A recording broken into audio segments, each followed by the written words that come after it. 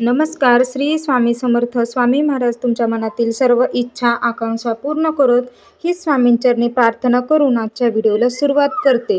तर उद्या तीन सप्टेंबर म्हणजेच रविवारी श्रावण महिन्यातील संकष्टी चतुर्थी आहे आणि या संकष्टी चतुर्थीला अनन्यसाधारण महत्त्व आहे कारण ही चतुर्थी श्रावण महिन्यामध्ये येत असते.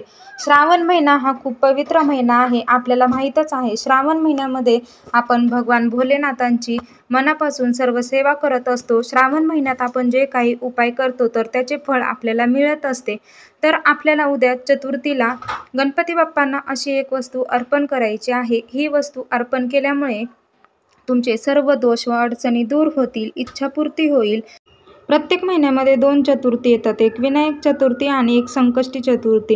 काही जण एकच चतुर्थी धरतात तर काही जण महिन्यातील दोन्ही चतुर्थी धरतात. आपल्याला माहीतच आहे गणपती बाप्पा विघ्नहर्ता आहेत संकटमोचन आहेत. आपण त्यांच्या सेवा केल्या तर आपल्यावर जे काही विघ्न येत असतात तर ते त्यांना गणपती बाप्पा दूर करत असतो. तर हा उपाय आपण आपल्या ज्या काही इच्छापूर्ती आहेत त्यासाठी त्याचबरोबर व्यापारात वृद्धी होण्यासाठी घराची पतीची प्रगती होण्यासाठी इच्छापूर्ती पूर्तीसाठी करू शकतो. अत्यंत प्रभावशाली असा उपाय आहे.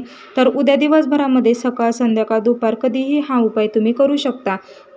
चला तर मग व्हिडिओला सुरुवात करूया. पण त्याआधी तुम्ही माझ्या चॅनेलवर नवीन असाल चॅनेलला अजून सबस्क्राईब केले नसेल तर प्लीज सीमाच कॉर्नर या माझ्या चॅनेलला नक्की सबस्क्राईब करा आणि कमेंटमध्ये श्री स्वामी समर्थ लिहायला विसरू नका.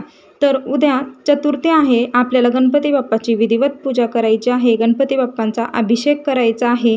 तुमच्याकडे मूर्ती नसेल तर तुम्ही आवर्जून मूर्तीची स्थापना करायची आहे. त्यानंतर आपण गणपती बाप्पाला पाण्याने पंचामृताने अभिषेक करायचा आहे. अभिषेक केलेलं जे पाणी आहे तर ते आपल्या मुलांना प्यायला द्यायचं आहे. मुले पित नसतील तर घरातील आपण ज्या ठिकाणी पाणी ठेवतो हंडा किंवा माठ तर त्याच्यामध्ये आपल्याला ते ओतायचं आहे. त्यानंतर आपल्याला अथर्वशीर्ष गणपती स्तोत्राचं पठण करायचं आहे. ओम गण गणपते नम या मंत्राचा जप करायचा आहे. गणपती बाप्पांना आपल्याला गणपती बाप्पांच्या आवडत्या दुर्वा मोदक लाडू यांचा प्रसाद ठेवायचा आहे. विधिवत त्यांची सेवा पूजा आराधना करायची आहे. त्यामुळे गणपती बाप्पांचा आपल्याला आशीर्वाद मिळेल. आणि आपण जेव्हा हे असे उपाय करत असतो तर तेव्हा त्याचे फळ आपल्याला भेटते. मुलांसाठी आपण गणपती बाप्पांचे उपाय करतो तर तेव्हा गणपती बाप्पा आपल्याला आशीर्वाद देतात. मुलांच्या सर्व अडचणी दूर होतात इच्छापूर्ती होत असते आणि प्रगती देखील होत असते. तर आता काय करायचं आहे आपल्याला? गणपती बाप्पांना पिवळं जे झेंडूचं फूल असतं तर ते अर्पण करायचं आहे. जशा प्रकारे गणपती बाप्पांना जास्वंदीचं फूल प्रिय आहे तशाच प्रकारे पिवळं झेंडूचं फूल देखील तुम्हाला गणपती बाप्पाला खूप म्हणजे खूप प्रिय आहे. तर हे पिवळं एकच फूल आपल्याला गणपती बाप्पाला अर्पण करायचं आहे.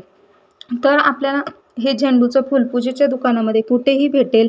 पिवळं झेंडूचं फूल उद्या चतुर्थीला तुम्ही गणपती बाप्पाला अर्पण केल्यामुळे तुमच्या घराची प्रगती होईल मुलांची प्रगती होईल व्यवसायात ज्या काही येणाऱ्या अडचणी असतील त्या सुटतील. त्याचबरोबर इच्छापूर्ती देखील होईल. तर अत्यंत प्रभावशाली असा हा उपाय आहे.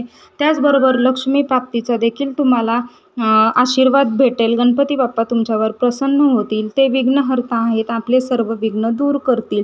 तर उद्या प्रत्येकाने सर्वांनी आवर्जून हा उपाय करायचा आहे. कारण श्रावण महिन्यातील संकष्टी चतुर्थी आहे आणि श्रावण महिना परत पुढच्या वर्षी येईल. त्यामुळे हा उपाय उद्या नक्की करायचा आहे. तर कसा वाटला व्हिडिओ कमेंट करून सांगा आणि असेच व्हिडिओ पाहण्यासाठी चॅनेल नक्की सबस्क्राईब करा. भेटूयात असाच एक नवीन माहितीपूर्ण व्हिडिओ घेऊन. आजचा व्हिडिओ पाहिल्याबद्दल खूप खूप धन्यवाद. श्री स्वामी समर्थ.